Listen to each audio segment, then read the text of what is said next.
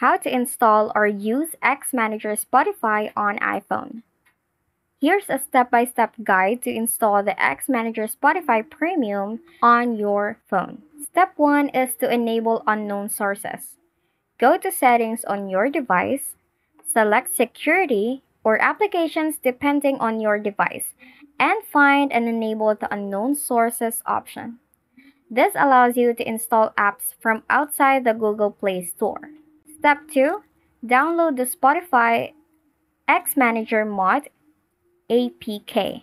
Visit an Xmanager official website or GitHub site to download the Xmanager Spotify APK which is listed above. Click Download to get the latest version of the APK file to your device.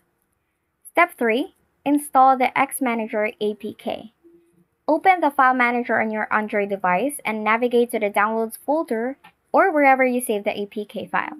Tap on the X Manager APK file to start the installation process. Step 4. Install Patch Spotify version. Once the X Manager app is installed, open it up.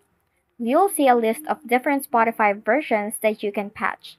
Just tap the Install Patch button to get the modified Spotify app. This version will give you all the premium features and no ads. Now, the question is, will X Manager work on iPhones or any iOS devices? But as of its latest update, X Manager Spotify is primarily designed for Android devices and does not natively work on iOS devices or Windows or Mac computers.